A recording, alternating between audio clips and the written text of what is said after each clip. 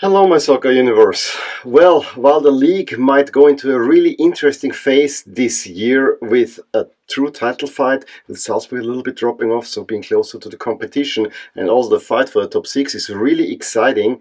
Overall, all is not well in the country of the mountains and at the river. This is a reference to the national anthem. We had our national holiday on Saturday, so you know, it was a long weekend for everyone, and as always, there was also my birthday in there as you know you've seen the video but yes the European performance is not looking good. I mean Rapid got a win but let me show you a little graph right here where you see the ratings how they have developed during this season. And I don't want you to focus on particular lines but the overall trend goes downward. And this was a really bad week. Austria is losing positions fast in European competition, which means there will soon probably less European spots available for the Austrian Bundesliga after a really successful period propped up by Salzburg, but also by other teams as well. We need points in Europe. Rapid and Lask probably the ones that have to pick up the slack, but also Salzburg have to just win certain games, but Salzburg are in a real, real funk. Now, I don't want to go in a really deep analysis here, because I think the video will anyway be long enough, but I have a feeling that Salzburg's recruiting strategy is partly to blame for that, because you're selling off the best players to bigger leagues, you make a whole lot of money. However, the replacements get younger and younger and younger and younger, and so the level cannot really keep up with that. Add to it a little bit of unrest with coaching changes, especially the beginning of last season, and I thought they had actually reacted quite well initially. However, it really did not work out, and at the moment, Lijnders does not work as well. And it has to be said very, very clearly that I think the transfer strategy this summer was not a good one because it upset the whole feel of the team. No good signs. Sturm Graz also have lost an important player. They have lost now the sporting director, but Sturm Graz are still the shining light in the Austrian league and Rapid potentially, which is overall exciting for a league, maybe not for people that are not supporting Rapid. Same thing a little bit goes for Lask, the other team that you would expect to make some points in Europe, but there has been so much unrest at the club and you don't help yourself. You really don't help yourself with that, and I think those factors really play into the Austrian Bundesliga not performing well in Europe this time around. As I said, on the flip side, we have a really exciting league at the moment, although my team Lask is not where I would like it to be. So with that little preamble, let's go right into the games.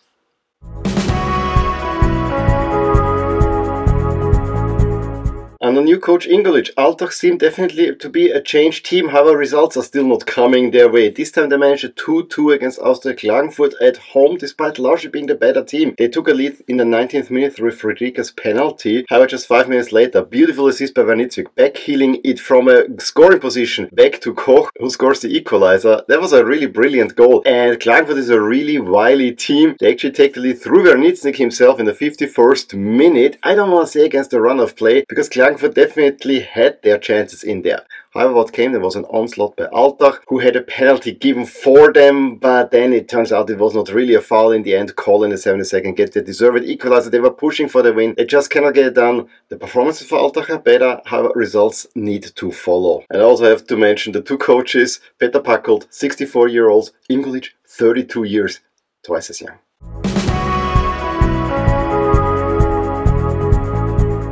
After the game, Tirol must have felt they're the wrong movie. They were really good in the first half, actually having Austria Vienna on the ropes in Vienna. Really a good performance by them overall, like that last week against Lask for about 20-25 minutes. However, there's former Tirol player Nik Prelec, who after the half heads in a Fitz cross, of course not celebrating, and then it goes only one way, Plavotic in the 63rd and Malone in the 73rd add two more and Austria are now sitting in third place. Quite a turnaround given their rough start to the season.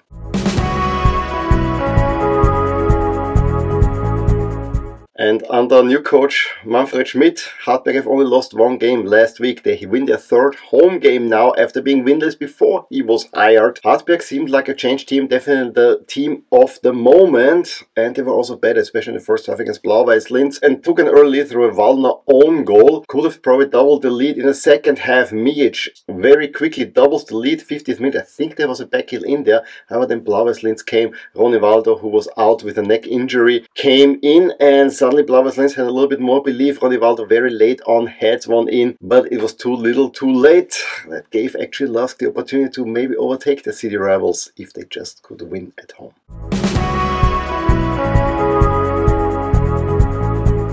After having fired their successful promotion manager Messner, GAK were so close of celebrating the first victory under new coach René Poms. They were leading 1-0 through a nice Lichtenberger goal in the 69th minute against Rapid. And then it's a penalty in the 93rd minute that Beljo converts to make it 1-1. It has to be also that Rapid had plenty of chances, especially in the first half, to decide this game. However, it was not meant to be. And we almost had the big upset and the first win for GAK. And if you want to know how deep Salzburg have fallen, yes, they had more of the game against Wolfsberg. Wolfsberg reduced to 10 men in the 51st minute when Pink after Ralph Tenkl was sent off, his first send off in his career. However, you expect a flurry and there were only some mad chances in there. In the end, Wolfsberg see it out, it's nil-nil. And it looks like Salzburg are really losing ground. And this might be pointing towards Sturm to win the title again.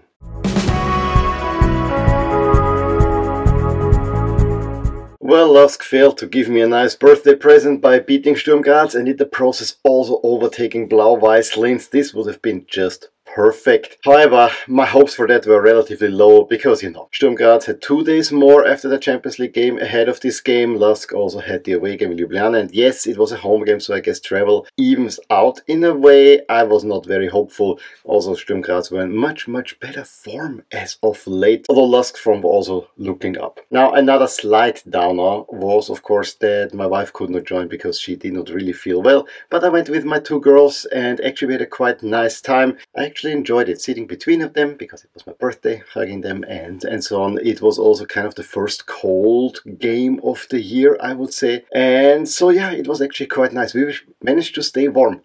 Great. Ahead of the game, there was a huge and very spectacular Tifo, probably one of the best I've seen in the new stadium so far, celebrating 10 years of one of the ultra groups, and it was quite spectacular. I guess I'll show you a short video clip here.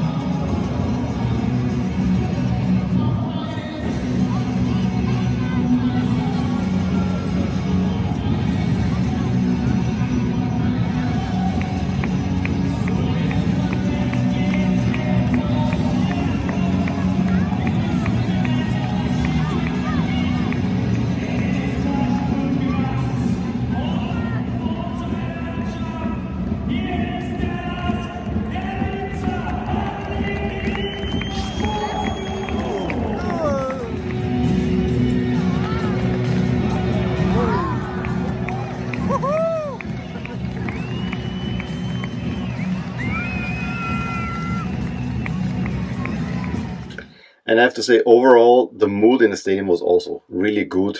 I think it was over 15,000, which, yeah, Sturm Graz always brings fans.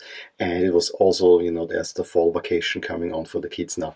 So this means that there are many more that can will come to these games. First half, though, A, it was all Sturm. B, there were hardly any goal scoring chances. After the game, Markus Schopp said that it was kind of the tactic to give the ball in the first half to Sturm and then attack in the second half and go for the game because you need to manage a little bit the stress from, you know, coming off a European night. If that was that, okay, However, I really felt, I mean, early in the first minute, Sturm Graz could have scored and had another big one where a Biereth shot was just cleared off the line by Ziereis, but they didn't produce much more as well. I wanted to say up until Sturm Graz made their first goal, the biggest chance came after a corner kick for Lask. Ljubicic had a free header, but the corner kick was A, taking a tad too high, and so he cannot push it down into the net because he had the direction, everything right there.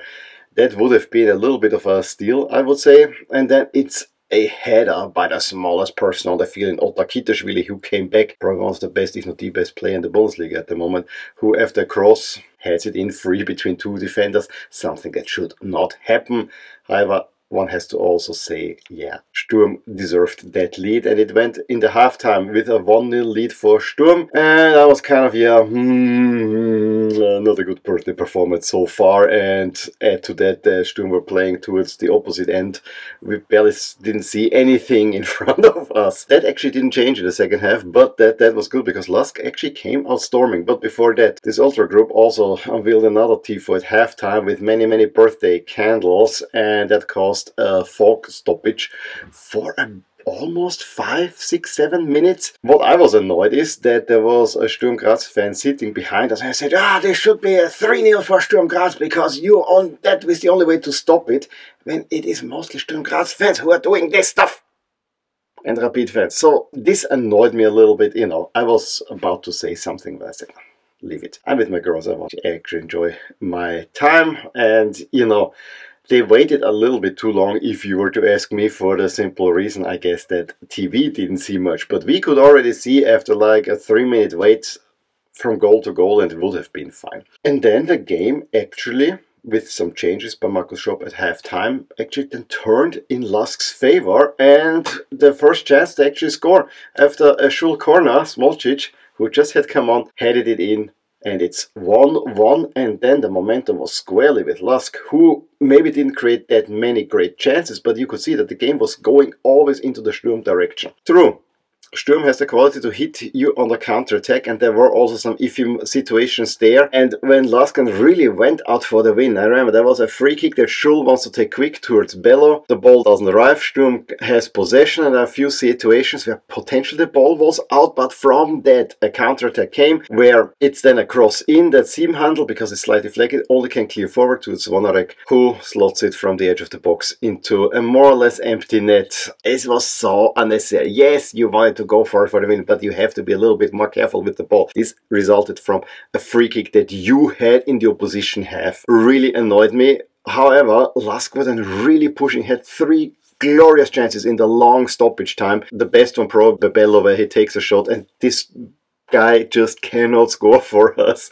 That is cleared in conjunction of Scherpen and uh, Aiwu. On the line, there was also one by Entrup where Scherpen then saved. I really thought we'll get an equalizer, which I think I would have been okay with. Getting a 2-2 draw against Sturm Graz is a really good result. Would have drawn us level with Blau-Weiß Linz as well, although not overtaking them. And I would be happy. This would have been a perfect birthday in a way because Lask usually play draws on my birthday. Nah, was not meant to be. I still thought this was a really good performance in the second half by Lask. One that I'm looking optimistic forward. Of course, now are extremely important weeks coming up, not only in Europe, but also in the league, because now it is really down who will get in the top six, and you will see what the next opponent will be.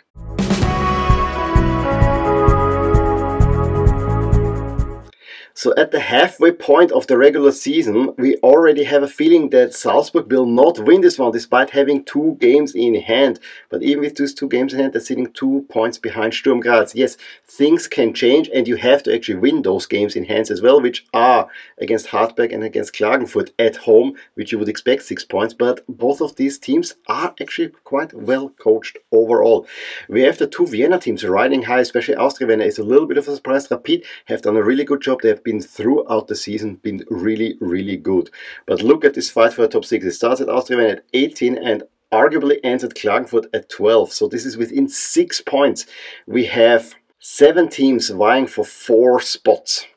So that is really, really exciting. At the moment, the inside track belongs, of course, to Austria Vienna. You would say Salzburg as well. Wolfsberg and Hartberg the two Linz teams seem to be like on the outside looking in. However, there's still a lot to play. Last performance definitely not helped by the very, very poor start to the season with five losses in a row. Everything else was actually kinda okay. And on the bottom, GAK seem to be down now, but Altach and Tirol also do not have many points. Given the points will be halved, I think the relegation battle will also be quite exciting. And on top, we're looking at a classic mid-90s Sturm Graz against Rapid title fight. Maybe Salzburg can join, but I think Sturm Graz against Rapid in a title fight, that is a very enticing prospect, I have to say, as a not quite neutral, but more or less I know that Lask will not win, so I'm sort of neutral. Who else will win it?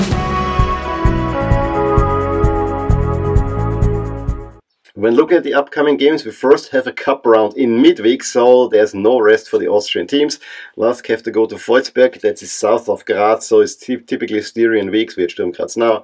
We were actually in Ljubljana, which used to be part of Styria, and we will see that we'll play another Styrian opponent on the weekend. So absolutely that. There's not really a standard tie. I would say Wolfsberg against Klagenfurt is probably the one because that's a local derby that isn't doubled up also on the weekend. We also have Sturm Graz against Blau-Weiß Linz, although this should be relatively straightforward, and another Bundesliga derby between Salzburg and Tirol.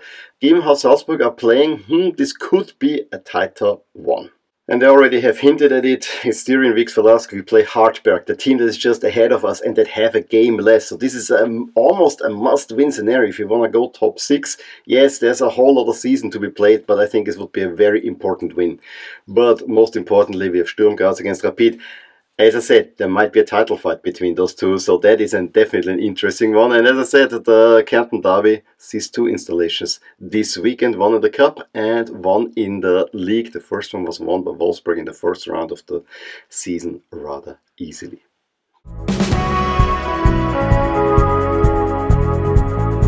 So, those were my thoughts on the Austrian Bundesliga at the halfway point of the regular season. So, we kind of know already a little bit about this league, and usually not much does change. Is it really the halfway point with two games still to be played? Maybe not quite, but you know, we still get a good feeling of where this league is going. In any case, please let me know your thoughts on the Austrian Bundesliga and why maybe Austrian teams are not doing well this time in Europe. Give me a thumbs up if you enjoyed this video, subscribe to my channel if you want to see more videos like these, and I'll talk to you soon about more things in my Austrian Bundesliga universe. Bye! Hey there, I really hope you enjoyed this video and if you did, here are some videos and playlists that you may enjoy too. Also, please consider subscribing to my channel and hit the little bell icon so you get notified whenever something happens in my soccer universe. And with that, have a wonderful day. Bye!